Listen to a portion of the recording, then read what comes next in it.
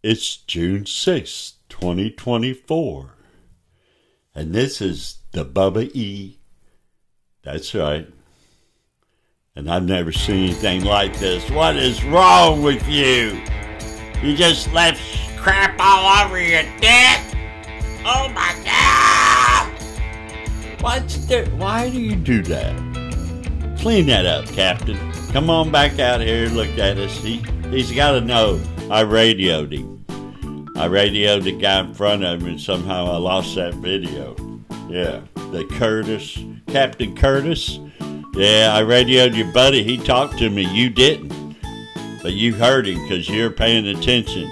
And you're looking for me too. Yeah, but that dick looks bad. Let's do something about that next time, will you? Clean that up, will? You're not even responsible for that. You're a boat captain. You're probably thinking, what's wrong with these people? I would have a uh, rod and reel trolling behind the uh, tugboat as we're going down the road. We're going down the Santa Rosa Sound. The Bubba E, baby. Where are we from? Bayou La Batre, Alabama. Now, comment below. Have you ever seen a tugboat like this? Is this a normal tugboat? I mean, we've seen other tugboats cut in half and shrunk like a head. Could this be something similar where it got cut this way? They had one tugboat needed two, so they just cut it half? What happened? There's the captain. Come on, everybody. Act right. There's the captain. Come on, wave at us. Please, wave. He's not gonna wave.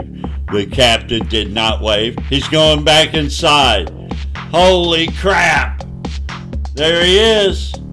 We have a captain that's doing a good job and not paying us any attention, and that's. I said I would start respecting the captains more. I'm going to. Thank you, Captain, for not waving. You're just doing your job. Thank you for watching. Oh, does that look cool? We're going up. We're going up, up, up, higher. 150 feet in the air. Ooh, yeah. They say that uh, this. Thank you for watching Interesting Boats.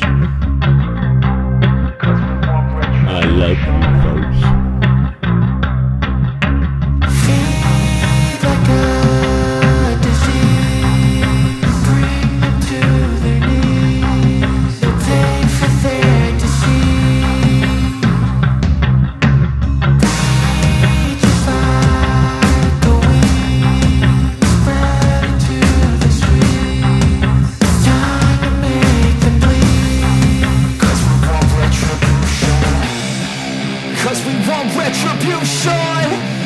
Oh yeah, we want retribution. Oh yeah, we want retribution.